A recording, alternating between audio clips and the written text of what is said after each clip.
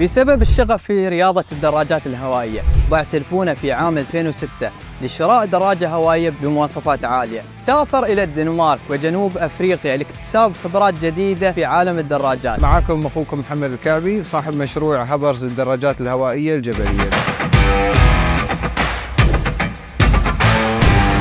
بدينا المشروع في 2018 آه، بدعم من آه، مؤسسة محمد بن راشد لتنمية المشاريع الصغيرة والمتوسطة.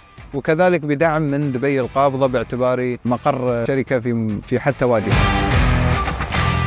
محمد نجح في إدارة وتنظيم العديد من الفعاليات ويحرص على تفعيل الجانب المجتمعي اللي يستهدف من خلاله كافة شرائح المجتمع في هبرز نحن نحاول نكون أبعد من مجرد مشروع تجاري نقوم باستضافة الدراجين آه، الرحالة يطلعون من أوروبا 9 شهور 12 شهر على الدراجة. هبرز آه، من ضمن نقاط الاستراحة عندهم.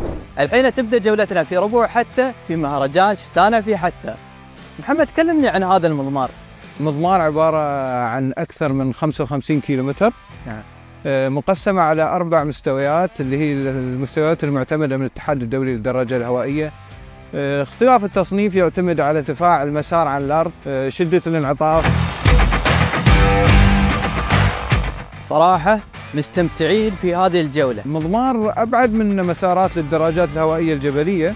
يعني مثل ما شفنا الانطلاقة من حتى وادي هب في كل البنية التحتية. وفي المسارات في خطة حتى أكسجين زراعة آه، أكثر من مئة ألف شجرة في حتى. وفي محميات للظبا والمها. شوف المشروع هو مش فقط للدراجة. المشروع آه، بيئي مستدام. ندعو الناس أنهم يزورون حتى وادي هب. وحياهم الله. مثل ما قال محمد نقول لكل الناس مرحبا بكم في حتى وحتى هالسنة غير. وحياكم الله في مهرجان شتانا في حتى.